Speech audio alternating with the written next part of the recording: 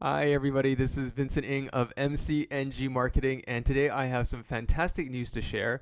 Well, what's been really interesting is that people really love to use those secret boards on Pinterest. And if you don't know what a secret board is, it's basically a private board that only you can see and those that you invite can see as well. So you can't see, uh, can't show them in the public. Uh, maybe there's some secret dark stuff that you don't want people to see.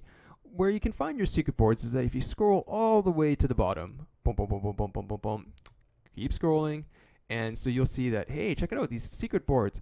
Now, it was really interesting. I was actually originally doing this video for another topic, which was about uh, how to use secret boards to plan out really detailed blog posts. But what I discovered was that, um, check it out, actually, there is no limit on how many secret boards you can create now. So it used to be that there was a limit of six.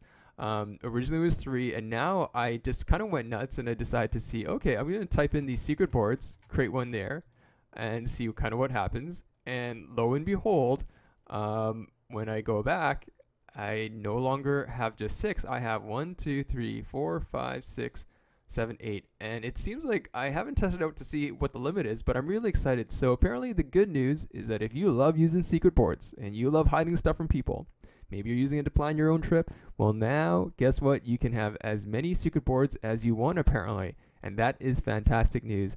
So make sure you drop by my website at www.mcngmarketing.com and subscribe to my newsletter. Also, look for my upcoming book, Pinterest to Profits with Pentalysis. It will be out soon with some bonus bonuses as well. Uh, thank you so much.